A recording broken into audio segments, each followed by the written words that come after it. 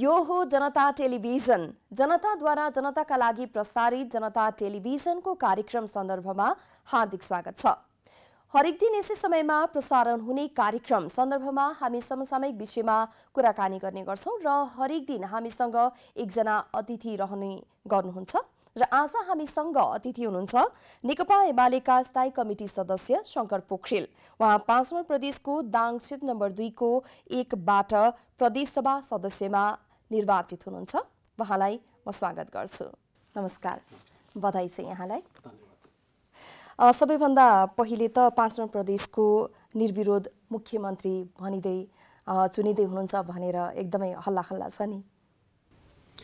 निश्चित म चाहिँ प्रतिनिधि सभाको तयारी गरेका थिएँ। दुईवटा पार्टीका प्रमुख नेताहरूले चाहिँ। प्रदेशको नेतृत्व गर्नु पर्यो भन्ने आग्रह गर्नु पऱ्यो त्यस हिसाबले म प्रदेश सभाको उम्मेद्वार बने अ, त्यस अर्थमा चाहिँ अब एक खालको पूर्व सहमति नै भन्दा पनि हुन्छ। यद्यपि अब प्रक्रियाका हिसाबले भन्ने हो भने अब दलको बैठकको आयोजना हुने दलको नेता चुनिने गठबन्धनका बिचमा चाहिँ छलफल हुने अब अन्तिम टुङ्गो लाग्ने खालको प्रक्रिया त बाँकी नै छ। तर पनि नेतृत्व गर्ने हिसाबले पनि त्यहाँ गएको कारणले गर्दाखेरि समस्या नहोला। अनि तपाईँ र कृष्णबहादुर महरा बिच त यो सहमति भएको भनिन्छ नि। तपाईँ चाहिँ प्रदेशमा प्रदेशमा र उहाँ चाहिँ प्रतिनिधि सभामा यहाँ केन्द्रमा बसेर उहाँलाई चाहिँ यता पठाउने तपाईँलाई उता पठाउने त्यही बमोजिम दुवै पार्टी सहमत भएका हुन् भनिन्छन्। त्यो त अब नेताहरूले भन्ने कुरा हो। मलाई दुईजना नेताहरूले अब पाँच नम्बर प्रदेशको महत्त्व र खास गरी त्यसको राष्ट्रिय राजनीतिभित्रको संवेदनशीलता। खास गरी दुई नम्बर प्रदेशमा वामपन्थीहरूको नेतृत्व नरहने सन्दर्भमा तराई मधेसको समग्र विकासमा नेतृत्व गर्न सकियो भने त्यसको प्रभाव राष्ट्रिय राजनीतिमा पर्न सक्छ र त्यसलाई विशेष महत्त्व दिनु जरुरी छ भन्ने आग्रह गर्नुभयो र मैले त्यसलाई अब राष्ट्रको लागि एउटा महत्त्वपूर्ण चुनौती र अवसरका रूपमा लिएँ र स्वाभाविक रूपमा मैले प्रदेश सभाको सदस्यका रूपमा आफूलाई प्रस्तुत गर्नुको पछाडिको कारण त्यही नै हो तर प्रदेशसभा त अहिलेसम्म बन्न सकेको छैन नि कहिलेसम्म बन्ला त? केही समस्याहरू सिर्जना गर्ने कोसिस भएको छ। विशेष गरी निर्वाचन आयोगले समानुपातिक तर्फको चाहिँ दलहरूका लागि चाहिँ त्यो सङ्ख्या निर्धारण गरेर प्रस्तुत गर्ने खालको काम बाँकी छ। सम्भवतः अब एक दुई दिनभित्र त्यो काम गर्नुपर्छ भन्ने मलाई लाग्छ। यद्यपि उहाँहरूको भनाइ के छ भन्दाखेरि राष्ट्रिय सभासँग यो जोडियो भन्नुहुन्छ। जोड्नुपर्ने जरुरी म देख्दिनँ। के अर्थमा भन्दाखेरि चाहिँ राष्ट्रिय सभामा महिला सहभागिता त निश्चित छ। अब प्रत्येक प्रदेशबाट चाहिँ तिनजना महिला हुनुपर्ने भन्ने प्रबन्ध छ। त्यो भनेको चाहिँ सैँतिस प्रतिशत हो। तेत्तिसभन्दा प्रतिशतभन्दा माथि नै छ। प्रदेश सभामा महिलाको सहभागिता न्यून रहेको चिजलाई पूर्ति गर्ने कुराका सन्दर्भमा जति न्यून भएको त्यो न्यून पूर्ति गर्ने कुरा अहिले नै गर्न सकिन्छ। भविष्यमा महिला सङ्ख्या थप भएर कुनै समस्या हुँदैन। जस्तो कि राष्ट्रिय सभामा महिलाहरू चाहिँ तिन बाहेक पनि चुनेर आयो भने के फरक पर्छ भन्दाखेरि केही फरक पर्दैन। किन महिलाहरू भनेको त कम पो गर्न पाइएन बढी गर्न त पाइहाल्छ नि। त्यस अर्थमा बढी भयो भनेर आत्तिनुपर्ने विषय त केही पनि छैन। प्रति प्रदेश प्रतिनिधि सभा गठन भइसकेपछि चाहिँ सरकार गठनका लागि विलम्ब गर्नु भनेको चाहिँ त्यो लोकतान्त्रिक हिसाबले पनि उचित होइन। अर्कोतिर अब हाम्रो संवैधानिक व्यवस्थाका हिसाबले पनि उचित होइन। किनकि अहिले त हाम्रो चाहिँ पुरानो संविधानको जस्तो व्यवस्था होइन। पुरानो संविधानमा के थियो भन्दाखेरि संसदको बैठकबाट प्रधानमन्त्री चुन्ने व्यवस्था थियो। अहिले त प्रधानमन्त्री चुनेर त्यसपछि उसले समर्थन प्राप्त गर्नका लागि संसदको आह्वान गर्छ। प्रधानमन्त्री चुनिने भनेको बहुमत प्राप्त दलको नेता वा गठबन्धन बहुमत प्राप्त गठबन्धनको नेता चाहिँ प्रधानमन्त्री चुनिन सक्छ। त्यसका लागि संसदको बैठक आवश्यक पर्दैन। र उसले आफ्नो बहुमत सिद्ध गर्नका लागि संसदको बैठकको आयोजना गर्छ। हामीले त्यो परिपाटी अहिलेको संविधानमा उल्लेख गरेका छौँ। यो विषय नबुझ्नेहरूले चाहिँ परम्परागत तरिका जस्तै गरी चाहिँ संसदको बैठक आयोजना भएर मात्रै प्रधानमन्त्री चयन हुन सक्छ भन्ने तर्क गरिरहेका छन् जुन कुरा अहिलेको संवैधानिक व्यवस्थाको हिसाबले मिल्दैन। अब केन्द्रमा त समानुपातिकको सिटको बाँडफाँडमा राष्ट्रिय सभा गठनको विवाद अहिले झिकिएको छ। अब यो विवादमा तर प्रदेशमा त त्यस्तो केही पनि छैन नि। छैन र माथि पनि गर्नुपर्ने आवश्यकता छैन। जस्तो कि माथि त के पनि विवाद गर्न खोजिएको छ भनेर भन्दाखेरि राष्ट्रिय सभाको निर्वाचन चाहिँ बहुमतीय प्रक्रियाबाट गर्ने कि एकल सङ्क्रमणीय विधिबाट गर्ने भन्ने विषयलाई पनि विवादको विषय बनाइएको छ जबकि हामीले चाहिँ केन्द्रीकृत प्रणालीभित्रको कुरा गरिरहेका छौँ। अहिले प्रधानमन्त्रीले प्रस्तुत गर्नुभएको अध्यादेशले सङ्घीयतालाई प्रतिनिधित्व गर्दैन। सङ्घीयताभित्र त हामी प्रत्येक प्रदेशलाई आठ आठ सिट विभाजन गरिसकेका छौँ। र त्यो आठ सिटको विभाजन फेरि कसरी हुने गर्छ भनेर भन्दाखेरि चाहिँ त्यसलाई तिनवटा अवधिमा बाँडिन्छ। दुई वर्ष चार वर्ष छ वर्ष भनेर गोला प्रथाद्वारा टुङ्गो टुङ्गो लगाइन्छ आठजना सदस्यको। र अर्को दुई वर्ष पछाडि चुनाव हुँदाखेरि चाहिँ दुईजना वा तिनजना सदस्यको मात्रै चुनाव हुन्छ। त्यसमध्ये एकजना महिला हुन्छ भनिसकेपछि त्यहाँ सङ्क्रमणीको अर्थै छैन। अहिले जसरी प्रधानमन्त्रीजीले अध्यादेश पेस गर्नुभएको छ एकल सङ्क्रमणीय विधिका आधारमा चुनाव गर्ने भनेर दुई वर्ष पछाडि त्यो एकल सङ्क्रमणीय विधि नै प्रयोग हुन सक्दैन भने प्रयोग हुन नसक्ने विधिलाई अध्यादेशका माध्यमबाट किन ल्याउनु पर्यो? त्यस अर्थमा पनि प्रधानमन्त्रीजीको आग्रह चाहे त्यो अध्यादेशका सन्दर्भमा होस् वा राष्ट्रिय सभा गठन नभइकन चाहिँ सरकार गठन हुन सक्दैन भन्ने तर्क होस् दु दुवै चाहिँ लोकतान्त्रिक मूल्य मान्यताका हिसाबले पनि त्रुटिपूर्ण छ। अर्कोतिर हाम्रो संवैधानिक अभ्यासका दृष्टिकोणले पनि त्रुटि त्रुटिपूर्ण छ। किन भन्दाखेरि हामी त सङ्घीय प्रणालीमा गइसकेका छौँ। सङ्घीय प्रणालीभित्र चाहिँ हाम्रो चाहिँ अब राष्ट्रिय सभा गठनको विधि चाहिँ अमेरिकन सिस्टम अन्तर्गतको राष्ट्रिय सभाको परिकल्पना गरियो। उहाँहरूको सोच के छ भन्दाखेरि इन्डियन सिस्टम अन्तर्गतको सोच छ। कन्ट्राडिक्सन हुनुका पछाडिको कारण त्यही हो। हामीले कस्तो प्रकारको संविधान स्वीकार गरेका छौँ भन्ने कुरा बुझेर चाहिँ अगाडि बढ्न खोजे भए समस्या हुने थिएन। संविधानमा एक खालको प्रा प्रा- प्रावधान छ। हिँड्न खोजेको यात्रा चाहिँ सरकारको यात्रा चाहिँ अर्को खालको छ र त्यसले समस्या उत्पन्न गरेको छ अब यो प्रदेशको मुख्यालय कहाँ हुन्छ? तपाईँको प्रस्ताव के छ? त्यो त सरकारले तोक्ने कुरा हो होइन। सरकारले पहिलो पटकका लागि तोक्ने अधिकार राख्छ। पछि स्थायी रूपमा तोक्ने अधिकार भनेको प्रदेश सभालाई छ अ, प्रदेश सभा गठन भइसकेपछि प्रदेश सभाले उपयुक्त ठाउँ तय गर्छ। त्यो पनि हामी सहमतिकै आधारमा गर्न सक्छौँ। त्यसमा विवाद गर्नुपर्ने विषय केही पनि छैन। किन हामीले प्रदेशको राजधानी अर्को काठमाडौँ जन्माउने होइन। अव्यवस्थित काठमाडौँ जन्माउने खालको कुरा गर्न थाल्यौँ भने त्यो उपयुक्त हुँदैन। बनी बनाउ सहरभित्रै प्रदेशको राजधानी भनेर खोज्न थालियो भने त्यो सहर पनि अर्को काठमाडौँ बन्छ। हामीले प्रदेशका राजधानीहरू भनेको त एक प्रकारले स्मार्ट सिटीको रूपमा व्यवस्थित र वैज्ञानिक हुन सकुन् भन्ने हिसाबले सोच्नुपर्छ। अहिले जसरी बहस चलिरहेको छ बनिराखेका सहरलाई नै प्रदेशको राजधानी बनाउने भन्ने कोणबाट चाहिँ जसरी बहस गर्न खोजिँदैछ त्यो चाहिँ भविष्यको हाम्रो चाहिँ सुन्दर राजधानीको परिकल्पनाका दृष्टिकोणले उपयुक्त होइन। म के ठान्छु भन्दाखेरि बिस वर्ष पछाडि हामीले निर्माण गर्ने सहरहरू चाहिँ व्यवस्थित हुन् सुन्दर हुन् आकर्षक हुन् त्यस्तो प्रकारको प्रदेशको राजधानीको परिकल्पना म गर्छु। अब अहिलेलाई त तात्कालिक रूपमा मुख्यालय तोकेर जाने कुरा छ र प्रदेश मुख्यालय र प्रदेशको नाम तोक्ने जिम्मा प्रदेश सभाको पनि हो। अब अहिले नै मुख्यालय तोकिसकेपछि पछि साट्न अप्ठ्यारो पर्ला नि त फेरि। त्यो त अब अब प्रदेश सभालाई जे अधिकार छ उसले अधिकारको प्रयोग त गर्छ। तर मेरो आग्रह के हो त भन्दाखेरि अहिले तोक्ने कुराकै सन्दर्भमा चाहिँ सबैलाई पाइक पर्ने हिसाबले मध्यभागमा र राजधानीका केही संवेदनशीलताहरू हुन्छन् राजधानी भन्नुको अर्थ के हो भने सुरक्षाका दृष्टिकोणले संवेदनशील क्षेत्र हो। कस्तो ठाउँमा राख्दाखेरि सुरक्षित हुन्छ भन्ने खालको एउटा मान्यता हुन्छ मानक हुन्छ। त्यो हिसाबले सोच्नुपर्छ भन्ने मलाई लाग्छ। अब अन्तर्राष्ट्रिय बोर्डरको छेउमा प्रदेशको राजधानी राख्ने कुरा चाहिँ उचित हुँदैन। अब विगतमा पनि तराईमा सेवा केन्द्र सार्दाखेरि ठुलै आन्दोलन भएको थियो। फेरि पनि त्यस्तो आन्दोलन नहोला भन्न सकिन्छ र? त्यो त जनताले एक प्रकारको मेन्डेट दिइसक्नु भएको छ होइन? संविधान कार्यान्वयन कि संविधानमाथि बहस भन्ने विषय त लामै समय छलफल चल्यो। तर जनताको आम मेन्डेटको कुराकानी गर्नु छ भने संविधानका कार्यान्वयनका पक्षमा जनता देखा परे। यद्यपि दुई नम्बर प्रदेशमा राष्ट्रिय पार्टीहरू चाहिँ स्थापित हुन नसक्ने कुरा एक खालको चुनौतीपूर्ण रह्यो। तर जनताको चाहनाको कुरा के रह्यो त भन्दाखेरि राजनीतिक स्थायित्व हो। जसले द्वन्द्व सिर्जना गरेको छ उसलाई नै जिम्मा लगाइदियो भने ऊ जिम्मेवार बन्छ भन्ने मान्यता अन्तर्गत दुई नम्बरको परिणाम आएको छ। अरू बाँकी छवटै प्रदेशमा राष्ट्रिय पार्टीहरूले नै नेतृत्व गर्नुपर्छ भन्ने जनताको जनादेश छ। र म के ठान्छु भन्दाखेरि अब दुई नम्बर प्रदेशका नेतृत्वकर्ता दलका रूपमा रहेका क्षेत्रीय पार्टीहरू हुन त उहाँहरूको मान्यता राष्ट्रिय पार्टीकै रूपमा मान्यता प्राप्त छ तर पनि उहाँहरूले राष्ट्रिय मान्यता प्राप्त गरेको दुई नम्बरबाटै हो। त्यस अर्थमा उहाँहरू दुई नम्बर केन्द्रित हुनुहुन्छ। दुई नम्बर केन्द्रित पार्टी भएका नाताले उहाँहरूले दुई नम्बर प्रदेशको चाहिँ जनताको आकाङ्क्षाको प्रतिनिधित्व अब उहाँहरूले गर्नैपर्छ विकास र समृद्धिको यात्रामा सँगसँगै हिँड्न सक्नुपर्छ। अरू प्रदेशहरू अगाडि बढ्ने दुई नम्बर पछाडि पर्ने कुराको अब्जस अब चाहिँ राष्ट्रिय पार्टीले लिन मिल्दैन। किनकि जनताले उहाँहरूलाई विश्वास गरेका छन् भने उहाँहरूले चाहिँ जनताको त्यो विश्वासलाई चाहिँ सार्थक बनाउन सक्नुपर्छ। केन्द्र सरकारले दुई नम्बरको प्रदेशको सरकारलाई सहयोग गर्नुपर्छ समृद्धिको यात्रामा। तर त्यसको अगुवाई उहाँहरूले गरेर देखाउनुपर्छ। अब भाग्न मिल्दैन। त्यस अर्थमा म के ठान्छु भन्दाखेरि अब मुलुक अधिकारको राजनीतिको लडाइँको दुष्चक्रबाट मुक्त हुँदैछ।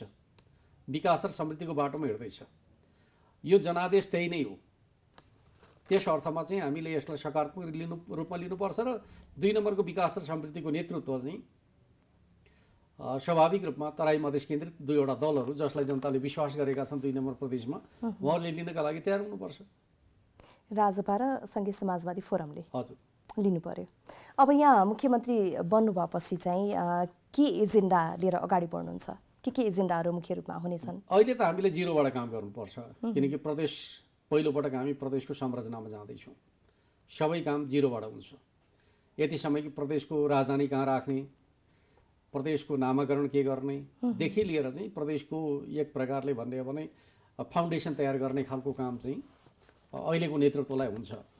म के ठान्छु भन्दाखेरि सबभन्दा पहि पहिले चाहिँ मैले काम आरम्भ गर्ने कुरा। अहिले हामी तुरुन्तै चाहिँ बजेटरी काम गर्ने अधिकार हामी राख्दैनौँ किन भन्दाखेरि बजेट प्रस्तुत भइसकेको छ र वार्षिक बजेट कार्यान्वयनको प्रक्रियामा छ। अहिले प्रदेशका लागि भन्ने हो भने एक प्रकारले प्रदेशको चाहिँ संरचनागत निर्माणका सन्दर्भमा केही प्रबन्धहरू होला केन्द्र सरकारको तर्फबाट। बजेट प्रस्तुत गर्ने खालको काम भनेको चाहिँ सम्भवतः म के ठान्छु भन्दाखेरि अर्को आर्थिक वर्षबाट सुरु हुने होला। त्यतिन्जेलसम्म चाहिँ पाँच नम्बर प्रदेशका हकमा मेरो सोच के छ भन्दाखेरि म चाहिँ मा मास्टर प्लान बनाएरै काम गर्ने सोचमा छु। सबभन्दा पहिलो प्रयास मेरो मास्टर प्लान तयार गर्ने कुरामा हुनेछ। र संविधानले तोकेका जिम्मेवारीहरूलाई समयमै सम्पादन गर्ने कुरामा हुनेछ। खास गरी प्रदेशको नाम राख्ने कुरा प्रदेशको चाहिँ सदरमुकाम तोक्ने कुरा प्रदेशको राजधानी तोक्ने कुरा भनौँ। त्यो काम चाहिँ समयमै सम्पन्न गऱ्यो भने त्यसपछि ध्यान विकास र निर्माणतर्फ केन्द्रित हुन्छ। र मैले पाँच नम्बर प्रदेशको समग्र विकासका सन्दर्भमा तिन महानगरको परिकल्पना गरेका छु। एउटा भैरव बुटोल पेरिफेरी मिलाएर एउटा महानगर निर्माण गर्ने जसलाई हामी एक एक प्रकारले पर्यटकीय महानगर पनि भन्न सकिन्छ अर्को कमर्सियल एउटा महानगरको रूपमा डेभलप गर्न सकिन्छ। किनकि अन्तर्राष्ट्रिय व्यापार का लागि चाहिँ एउटा महत्त्वपूर्ण सेन्टर बन्न सक्छ भन्ने म ठान्छु। पाँच नम्बर प्रदेशका हकमा चाहिँ भैरव बुटवल अर्कोतर्फ चाहिँ नेपालगञ्ज कोलपुर मिलाएर चाहिँ खजुरा मिलाएर चाहिँ एउटा औद्योगिक महानगरको परिकल्पना मैले गरेका छु। किन भन्दाखेरि त्यो क्षेत्रबाट चाहिँ नेपालगञ्ज यस्तो क्षेत्र छ जहाँबाट चाहिँ अढाई घन्टामा हामी छ नम्बर प्रदेशको सदरमुकाममा जान सक्छौँ अढाई घन्टामा हामी सात नम्बर प्रदेशको सदरमुकाममा जान सक्छौँ। र त्यसै गरी अढाई घन्टाको अवधिमा हामी पाँच नम्बरको सदरमुकाममा जान सक्छौँ केन्द्रमा जान सक्छौँ भन्नुको अर्थ के हो त भन्दाखेरि राजधानी भनेको कन्जम्सन गर्ने उपभोग गर्ने ठाउँ पनि हो। र उपभोक्ताहरू जहाँ धेरै हुन्छन् त्यो ठाउँमा सहज ढङ्गले उत्पादन पुर्याउने खालको सेन्टरका रूपमा चाहिँ नेपालगञ्ज उपयुक्त हो भन्ने ठान्छु। त्यसै अर्थमा नेपालगञ्ज पेरिफेरीलाई मैले चाहिँ औद्योगिक महानगरको रूपमा विकास गर्ने सोच बनाएको छु। अर्कोतर्फ चाहिँ गोराई तुलसीपुर हावापानीको दृष्टिकोणले सुरक्षाका दृष्टिकोणले र ऐतिहासिकताका दृष्टिकोणले एउटा महत्त्वपूर्ण ठाउँ भएको नाताले त्यसलाई क्यापिटल सिटीका रूपमा डेभलप गर्ने मेरो आफ्नो सोच रहेको छ र म जनप्रतिनिधिहरूसँग त्यही विषयमा छलफल गरिकन एउटा समझदारीका साथ अगाडि बढ्ने कोसिस गर्छु। तर सबैभन्दा बढी विवाद पाँच नम्बर प्रदेशमै रहेको भनेर बताइन्छ नि। दाङ होइन। म के ठान्छु भन्दाखेरि जनप्रतिनिधिका बिचमा विवाद होइन। जनस्तरमा आकाङ्क्षाहरू प्रकट हुने कुरालाई मैले अन्यथा ठान्दिनँ। तर सवाल के हो त बुटवल बनाउँदा बेटर हुन्छ। भन्ने खालको भनाइहरू आइरहेछ भने त्यो त अर्कोतिर एउटा दाङ कुरा के हुन्छ बनाउनुपर्छ म के भन्ने ठान्छु पनि। भन्दाखेरि बनिसकेका सहरहरू भन्दा चाहिँ प्लानिङ वेमा बनाउन सकिने सहरहरूमा ज्यादा ध्यान केन्द्रित गर्नुपर्छ। बुटोल विकसित सहर हो। त्यहाँ नयाँ प्रकारका संरचना पूर्वाधारहरू बनाउने कुरा कठिन हुन्छ। हामी त बिस वर्ष पछाडि कस्तो महानगर बनाउने भन्ने खालको प्लानिङभित्र जानुपर्छ। हाम्रा राजधानीहरू चाहिँ काठमाडौँ जस्तो अव्यवस्थित नहुन् भन्ने कुराको सोच बनाउनुपर्छ। त्यसका लागि बनिसकेको सहर कि बन्न लागेको सहर भन्ने कुराका सन्दर्भमा स्वाभाविक रूपमा बनिसकेको सहरको तुलनामा बन्ने सम्भावना बोकेका सहरहरूका सन्दर्भको सम्भावना ज्यादा हुन्छ। भनेपछि अल्प विकसित सहरलाई नै चुनाव गर्ने। जहाँ प्लानिङको सम्भावना हुन्छ। किनकि हामी त बनी बनाऊ ढाँचाभित्र चाहिँ रमाएर बस्ने त होइन नि। एउटा व्यवस्थित सुन्दर राजधानीको परिकल्पना जब हामी गर्छौँ भने त्यो भनेको चाहिँ बनी बनाऊ ठाउँमा सम्भावना हुन्छ कि बन्न बाँकी रहेको ठाउँमा सम्भावना हुन्छ भन्दाखेरि बन्न बाँकी रहेको ठाउँमा सम्भावना हुन्छ।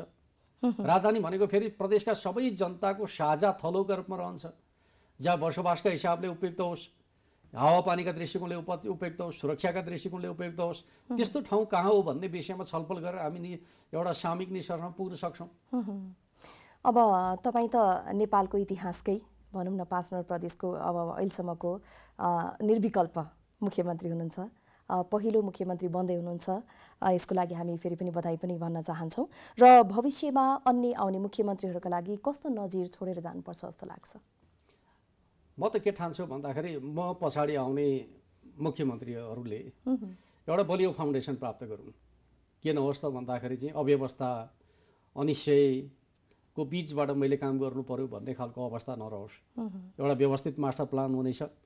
पूर्वाधार विकासको एउटा खाका तयार भइसकेका हुनेछ प्रदेशको फाउन्डेसन तयार भइसकेका हुनेछ जनतामा डेभलपमेन्टप्रतिको आशा र विश्वास भरोसा पैदा भइसकेका हुनेछ। त्यो प्रकारको स्थिति म नयाँ पुस्तालाई हस्तान्तरण गर्न चाहन्छु। अब केही केन्द्रीय राजनीतिको कुरा गरौँ। अहिले संसदले पूर्णता पाउनमा जुन ढिलाइ भइरहेको छ यसमा तपाईँको के भनाइ छ? ढिलाइ नहुनुपर्ने हो। यद्यपि अब निर्वाचन आयोगले आफ्नो काम सम्पन्न गर्न बाँकी नै छ। किनकि स्थानीय तहमा चाहिँ मतगणना त सकियो। तर त्यसको औपचारिक रिपोर्ट सहितको चाहिँ त्यसलाई रुजु गर्ने खालको काम बाँकी छ। सम्भवतः एक दुई दिनभित्र त्यो पुरा होला। त्यसपछि उहाँहरूले चाहिँ आफ्नो अन्तिम रिपोर्टका आधारमा दलहरूलाई समानुपातिक सूचीका लागि सङ्ख्या निर्धारण गरेर जिम्मेवारी दिनुपर्छ। र अहिले निर्वाचन आयोग के भन्दैछ भन्दाखेरि उहाँहरूले विगतमा जे क्रम तप तपाईँले तोक्नु भएको छ त्यही क्रमका आधारमा निर्धारण गर्ने हो।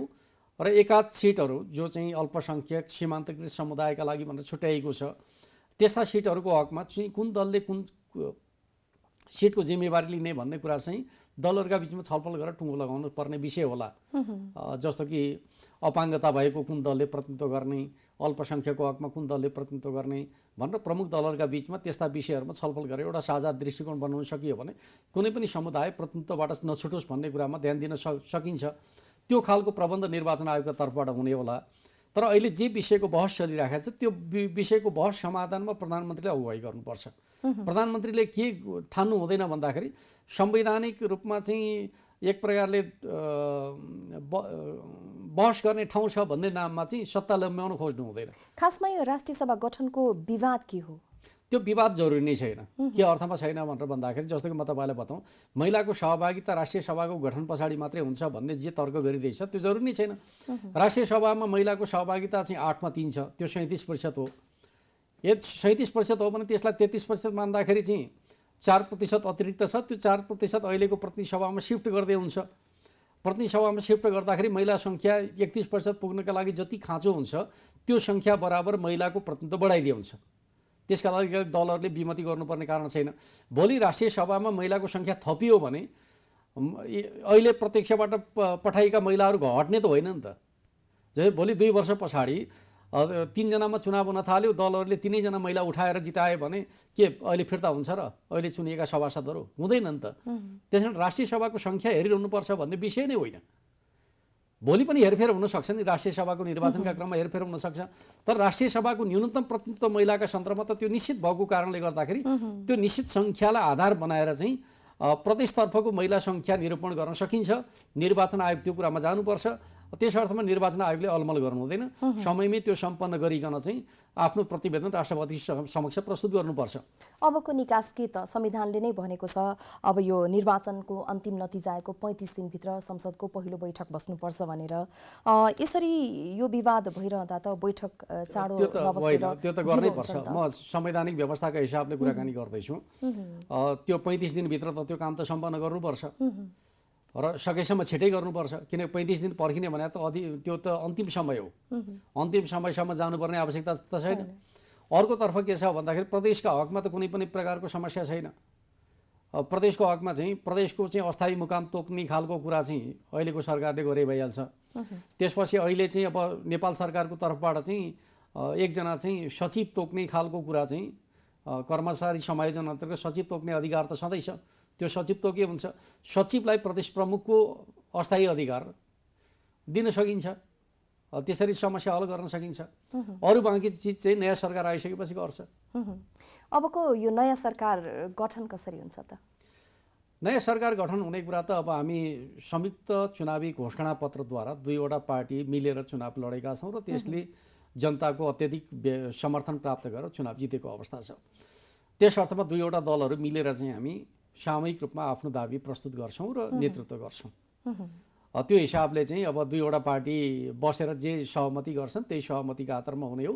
मोटामोटी रूपमा हेर्दाखेरि चाहिँ जनभावनालाई समेत दृष्टिगत गरिकन अब माओवादी केन्द्रका नेता प्रचण्डले अबको प्रधानमन्त्री केपी ओली भनिसकेका अवस्थामा सम्भवतः त्यही नै होला भन्ने म ठान्छु।